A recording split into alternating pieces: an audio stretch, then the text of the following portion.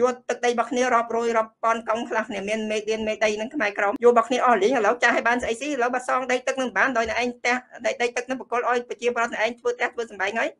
សងជាលុយកាក់ជាអីឲ្យខ្មែរក្រមវិញមកបើបងប្អូនមិនតន់បាន Subscribe នៅ Channel KK CCTV នេះសូមមេត្តាជួយចុចកណ្ដឹង ហើយជួយ Like ជួយ Share បន្តទៅកាន់ប្រិយមិត្តរបស់យើងឲ្យបានគ្រប់គ្រប់គ្នាផង សូមអរគុណខ្ញុំប្រកាសណាខ្ញុំបាទ មានមោទនភាព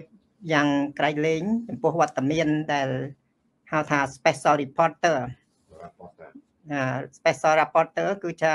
បានសេចក្តីថាអ្នករាយការណ៍ពិសេសរបស់អង្គការសហប្រជាជាតិដែលអ្នកស៊ើបអង្កេតចាំពិនិត្យមើលនៅសិទ្ធិមនុស្សដែលប្រទេសណាខ្លះនឹងលោបបំពាននៅសិទ្ធិមនុស្ស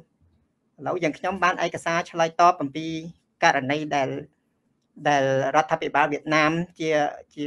ណែ រដ្ឋអំណាចនៅបាច់នៅតំបន់ផ្សេងផ្សេងនៅទីរួមខេត្តឬក៏ទីរួមស្រុកអីហ្នឹង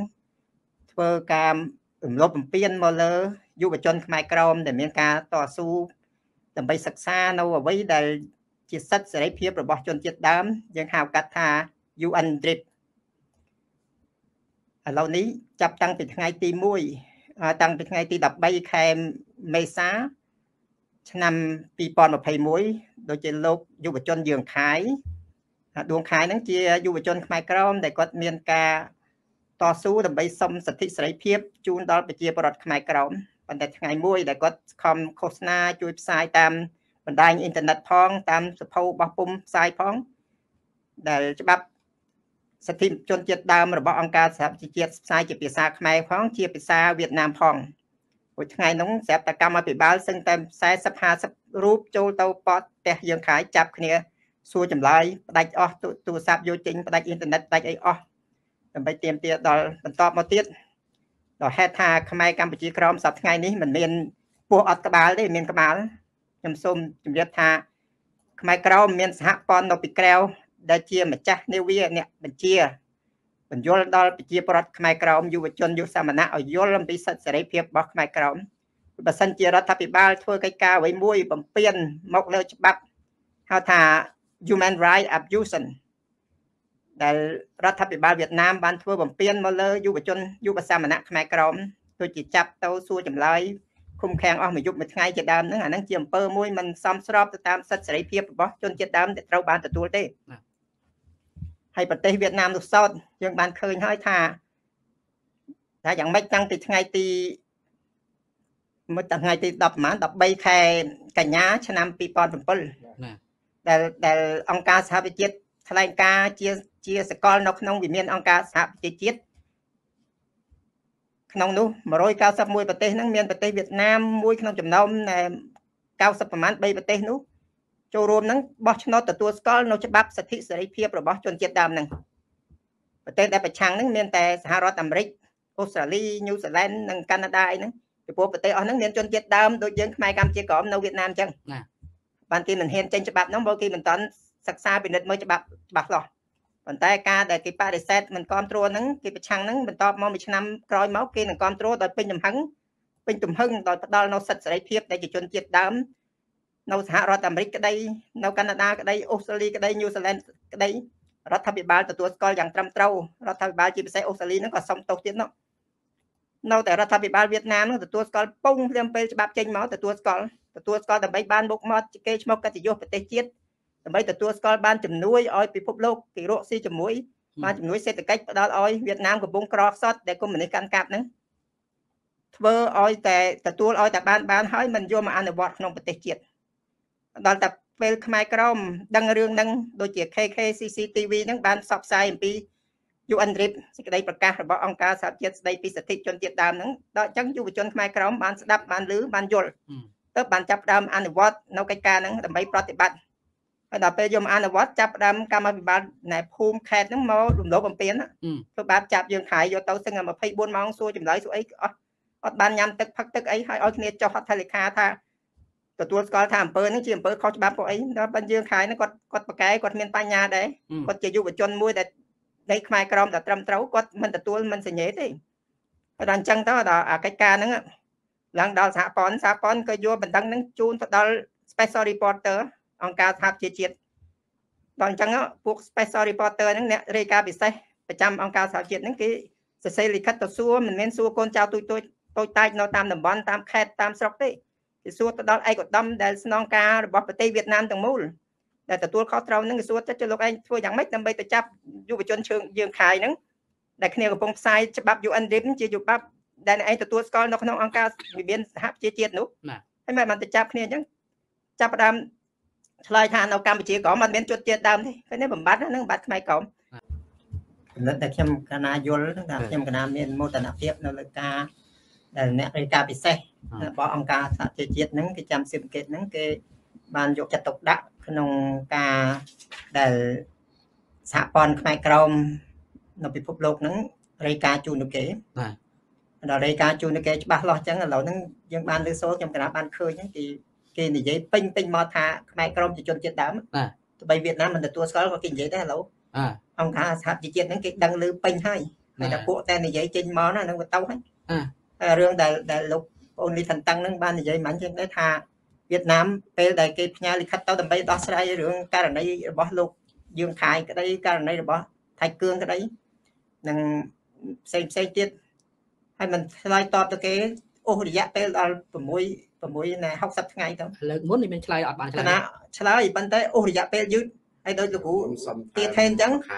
សុំសុំបន្ថែមពេលវេលាអាហ្នឹងអូសរយៈពេលគេថាដើម្បីយកអាអាបច្ចេកទេសតាក់ទិកហ្នឹងដើម្បីឆ្លើយតបមកហើយតែឆ្លើយតបមកវិញថាវៀតណាមអត់មានជនជាតិដើមទេ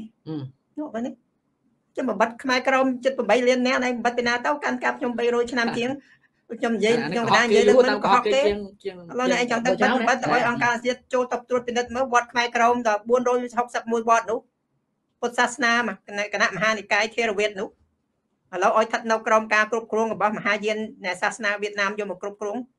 អាហ្នឹងចេះតែបំពេញហើយការសរសេរដោយលោកគ្រូទៀតថេនបានបន្ទូលមកអញ្ចឹងមានបន្ទូលអញ្ចឹងថាអាការសរសេរក្បួនច្បាប់ផ្នែកខាងប្រវត្តិសាស្ត្រហ្នឹងវាចិត្តតែកែប្រែកែច្នៃដើម្បីឲ្យអ្នករៀនចំនួនក្រោយហ្នឹង យកមកវាខុសគ្នាអ្នកដែលរៀនចំនួនបិណ្ឌវាទៅជាការនេះវាធ្វើយ៉ាងម៉េចដើម្បីបំបត្តិនៅការចងចាំអ្វីដែលជាប្រវត្តិសាស្ត្ររបស់ខ្មែរក្រមហ្នឹងប៉ុន្តែការបំផិតការបំផិតបំភ័យរបៀបហ្នឹងការធ្វើរបៀបហ្នឹងឥឡូវមិនបានជោគជ័យទេឥឡូវណែ special rapporteur របស់ណែអង្គការសហប្រជាជាតិហ្នឹងអ្នករាយការណ៍ពិសេសហ្នឹងគេចាប់ផ្ដើម investigate ចាប់ផ្ដើមត្រួតពិនិត្យណាចាប់ផ្ដើមសិក្សាត្រួតពិនិត្យមើលហើយដល់ត្រួតពិនិត្យចឹងទៅគេគេគេឃើញហើយវៀតណាមនឹងមានការភូតភួរកុហកច្រើនជាងអានិយាយការពិតហ្នឹងហើយហ្នឹងហើយ ច្រើនឆ្នាំមកហើយណាការចាប់រំលោភបំពានច្បាប់សិទ្ធិមនុស្សផងសិទ្ធិជនជាតិដើមផងរំលោភលើយុវជនខ្មែរក្រមយុវសាមណៈរំលោភ100%ហ្មងគេដឹងថារំលោភហើយឯង human right abusive ឯងជាជារំលោភអញ្ចឹងធ្វើម៉េចត្រឹមត្រូវទៅបើអ្នកឯងសប្ថ្ងៃហ្នឹងឯងបានកឯងអង្គុយនៅក្នុងណែ Geneva ជាទីប្រឹក្សារបស់ណែសិទ្ធិមនុស្សគណៈក្រុមប្រឹក្សាសិទ្ធិមនុស្សអន្តរជាតិនោះ ពួកឯងទទួលស្គាល់តំណែងប៉ុណ្ណឹងហើយមិនបានឯងមិនឆ្លើយឥឡូវលោកឯកឧត្តមដែលជាតំណាងរដ្ឋាភិបាលវៀតណាមហ្នឹង Excellency ហ្នឹង Excellency ហ្នឹងលោកឯកឧត្តមដែលជាតំណាងរដ្ឋាភិបាលនៃសង្គមនិយមវៀតណាមនោះគួរតែឆ្លើយតបមើលណែឯងទទួលស្គាល់ចឹងទៅណែឯងបានមុខតំណែងជានេះអង្គុយក្នុងលេងទីក្រុមប្រឹក្សានៃសិទ្ធិមនុស្សអន្តរជាតិហើយមិនបានឯងមិនឆ្លើយតបដល់ប្រជាពលរដ្ឋខ្មែរក្រមមួយចំនួនតូចហ្នឹងដែលគ្នាធ្វើការដើម្បីទាមទារសិទ្ធិសេរីភាពរបស់ជនជាតិដើមនិងសិទ្ធិសេរីភាពរបស់មនុស្សជាតិដែលត្រូវទទួលបាននោះ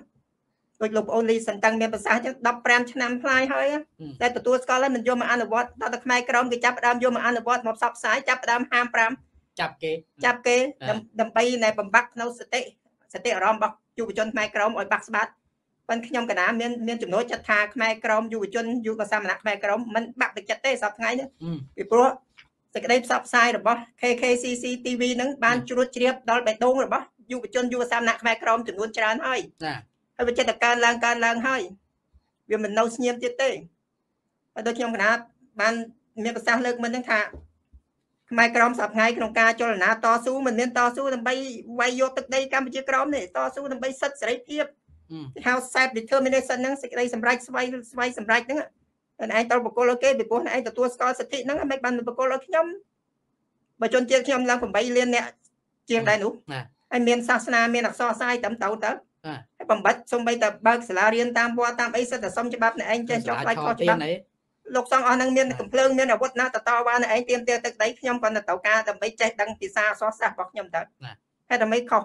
ដូចជាលោកក្មួយយើងខាយឯងលោកថាច់គឿងជាដើមហ្នឹងធ្វើឲ្យធ្វើអ្វីខុសគាត់តែពាក់ផ្នែកខុសអោណែ SDG SDG logo អាសញ្ញា logo របស់ SDG ឧទាចាប់គ្នាថាអ្នកគ្នាធ្វើហ្នឹងហើយនឹងលោកមួយយើងខៃចឹងណា គ្រាន់តែផ្សព្វផ្សាយតាមប្រព័ន្ធអ៊ីនធឺណិតហ្នឹងនៅសេចក្តីរាយការណ៍សេចក្តីណែប្រកាសរបស់អង្គការសហប្រជាជាតិស្តីពីសិទ្ធិជនជាតិដើម UNDRIP ហ្នឹងជាភាសាខ្មែរផងភាសាយួនផងទៅចាប់គ្នាពតចាប់ដល់ផ្ទះដើម្បីបំផន់ធ្វើដើម្បីដើម្បីឲ្យបាក់សតិអារម្មណ៍កុំឲ្យហ៊ានធ្វើតទៅទៀតហ្នឹងសិតចាប់បង្ខំអញ្ចឹងណាពួកឯងធ្វើមិនបានបើពួកអស់ហ្នឹងគ្នាយល់ច្បាស់ហើយហ្នឹងហើយឥឡូវមានមានសហព័ន្ធនៅបរទេសជួយធ្វើអន្តរាគមន៍ណែឯងធ្វើអីពួកហ្នឹង report មកពួកហ្នឹងរាយការណ៍មកសហព័ន្ធសហព័ន្ធនឹងយកយកសំណុំរឿងអស់ហ្នឹង ជូនទៅដល់អង្គការសហប្រជាជាតិជាពិសេសផ្នែកខាង special rapporteur ហ្នឹងអ្នករាយការណ៍ពិសេសរបស់បណ្ដាញរបស់នៃអង្គការសហប្រជាជាតិដែលនៅប្រចាំការមើលនានាការមើលផ្នែកខាងប្រទេសផ្សេងផ្សេងដែលធ្វើការរំលោភបំពាននៅសិទ្ធិសេរីភាពរបស់មនុស្សជាពិសេសសិទ្ធិរបស់មនុស្សហើយនិងសិទ្ធិរបស់ជនជាតិដើមហ្នឹងណាឥឡូវនេះគេឃើញគេដឹងលឺគ្រប់អស់ហើយនៅតែចាំឆ្លើយតបទេអាកូនចៅនៅតំបន់ខេត្តនៅស្រុកអីហ្នឹងធ្វើអញ្ចឹងប៉ុន្តែអាលើនោះ ទៅនិយាយគេទ្រាំទ្រាំដើម្បីដោះស្រាយរឿងហ្នឹងដូចជារឿងពជាពេលហ្នឹងដោះស្រាយដើម្បីរកវិធីដោះស្រាយហ្នឹងហើយដោះស្រាយយ៉ាងម៉េចគេទៅកុហកគេយ៉ាងម៉េចដើម្បីគេជឿទៀតខ្មែរក្រមឡើង8លានអ្នកផ្លាយខ្ញុំទៅនិយាយកណាទៅនិយាយទៅដែលដែលតង់ប្រសង់តង់យុវជនគ្រប់បែបយ៉ាងពួកអត់នឹងគ្មានគូក្បាលនិយាយទេហើយឯងទៅចាប់បខំគេសួរថាឥឡូវហ្នឹងនៅបរទេសខ្មែរក្រមនៅបរទេសសឹងតែគ្រប់ប្រទេសតែនៅមហាអំណាចដូចសហរដ្ឋអាមេរិកបារាំងកាណាដាអូស្ត្រាលីអីញូហ្សេឡង់អីហ្នឹងនៅគ្រប់ទីមានបណ្ដាញគ្រប់អស់ហ្នឹង តែបងប្អូនគេ report មកតែមានរូបថតស្អីស្អីគេនឹងសហព័ន្ធនឹងនឹងធ្វើការជូននៅរឿងហ្នឹងទៅហើយពីព្រោះសហព័ន្ធនេះជាជាអង្គការមួយដែលដែលស្របច្បាប់ខ្មែរកម្ពុជាក្រមនៅបរទេសបានបោះឆ្នោតឡើងជាអង្គការមួយដែលត្រឹមត្រូវទទួលស្គាល់ដោយ UNPO ទទួលស្គាល់ដោយអង្គការសហប្រជាជាតិទៀតថាជាអង្គការមួយដែលមិនមានកៅអីក្នុងអង្គការសហប្រជាជាតិមិនមែនប៉ុន្តែជាអង្គការមួយដែលស្របច្បាប់តំណាងរបស់ជនជាតិដើមនៅកម្ពុជាក្រមខ្មែរក្រមហ្នឹងណាអូខេ ត្រឹមត្រូវអាហ្នឹងត្រង់កន្លែងហ្នឹងហើយដែលខ្មែរក្រមមិនមានពោះមានក្បាលក្បាលហ្នឹងវាឆ្លាតមួយក្នុងការតវ៉ាណែឯងធ្វើអ្វីមួយមិនសមស្របដល់យុវជនយុវសាមណៈប្រជាពលរដ្ឋរបស់ខ្ញុំខ្ញុំទៅតែទៀមទាបដឹងផ្ដល់ដល់អង្គការសហជីវជាតិណែឯងនិយាយយ៉ាងម៉េចរឹបបើសិនជាឯងប្រើអំណាចផ្ដាច់ការចង់ចាប់បខំធ្វើបាបណែធ្វើຕົកបុកម្នេញដល់យុវជនយុវសាមណៈខ្មែរក្រមឯងប្រហែលជាមានទោសមានទោសដូចជាលោកពូទីនអញ្ចឹងតែធ្វើតាមបើពេលច្បាប់គេហាមថាណែឯងកុំកុំទៅឈ្លានពានអ៊ុយក្រែនណា ឈ្លានពានខ្ញុំដាក់តន្តកម្មណែឯងឈួនណាអូតែនិយាយខុសគ្នាថាខ្ញុំអត់ឈ្លានពានទេអត់ឈ្លានពានទេសហរដ្ឋអាមេរិកវាមើលឃើញពូទីនដាក់តបជាង20ម៉ឺននាក់នៅទល់ដែនអ៊ុយក្រែនដាក់រថក្រោះដាក់រឿងកំភ្លើងធំគ្រប់បែបយ៉ាងដើម្បីចូលឈ្លានពានវាដឹងវាដកដកទូចេញពីពីអ៊ុយក្រែននឹងមិនរាប់ខែនោះអុយវាស្នើឲ្យលោកប្រធាននាយកដៃសេឡិនស្គីនឹងឲ្យចេញភៀសខ្លួនចេញពីពីទីក្រុងគីវរដ្ឋធានីគីវដើម្បីទៅនៅសហរដ្ឋអាមេរិកដើម្បីបង្កើតតបឆ្ពោះវាយតសូវៀតវិញ ប៉ុន្តែដោយសារលោកសេរិនស្គីគាត់រឹងគាត់ខ្លាំងតស៊ូគាត់វាយចូលមកវាយមិនបាក់ដល់វាយបាក់បាក់ទៅវិញរត់ក្រោះឆេះឡើងសឹកតិចឥឡូវនឹងវៀតណាមនិយាយពីសិទ្ធិសេរីភាពហ្នឹងព្យាយាមបង្ក្រាបយុវជនយុវសាមណៈខ្មែរក្រមដើម្បីឲ្យបាក់ក្រាបឃ្លាតហើយចោតប្រកាន់ថាការដែលទៀមទាសិទ្ធិសេរីភាពហ្នឹងជាការធ្វើឲ្យបំផ្លាញនៅសុខសន្តិភាពសង្គមរបស់វៀតណាម មិនមែនទេខ្ញុំមិនទៀមទាអ្វីបំផ្លាញរបស់អ្នកឯងទេខ្ញុំទៀមទាតែសិទ្ធិសេរីភាពអ្នកឯងឲ្យខ្ញុំរស់នៅដោយសុខស្រួលទៅឲ្យមានភាពស្មើគ្នាឲ្យមានភាពស្មើគ្នាសុខស្រួលទៅដីធ្លីដែលអ្នកឯងមកយករបស់ខ្ញុំនឹងគួរតែជូនមកដូចលើកមិនខ្ញុំកណាមានពលរួចណាពលរួចហើយមកយកដីធ្លីរបស់គ្នាឆ្នាំ1975កុម្មុយនីចូលមកចេញច្បាប់សហគមន៍ យកទឹកដីរបស់គ្នារាប់រយរាប់ពាន់កង់ខ្លះគ្នាមានមេឌៀនមេដីនឹងខ្មែរក្រមយករបស់គ្នាអស់លីងឥឡូវចាស់ឲ្យបានស្អីស៊ីឥឡូវបើសងដីទឹកនឹងបានដោយអ្នកឯងផ្ទះដីដីទឹកនឹងបកលឲ្យប្រជាប្រដ្ឋអ្នកឯងធ្វើផ្ទះធ្វើសំបែងហើយសងជាលុយកាក់ជាអីឲ្យខ្មែរក្រមវិញមកដើម្បីជាជំងឺទឹកចិត្តពីព្រោះក្នុងច្បាប់ UN Trade នឹងមានមេត្រាខ្លះច្បាប់ថយក្រោយត្រូវតែសងវិញយកប្រកេនបើបងប្អូនមិនតន់បាន Subscribe នៅ Channel KK CCTV នេះសូមមេត្តាជួយចុចកណ្ដឹង ហើយជួយ Like ជួយ share បន្តទៅកាន់ប្រិយមិត្តរបស់យើងឲ្យបានគ្រប់គ្រប់គ្នាផង សូមអរគុណ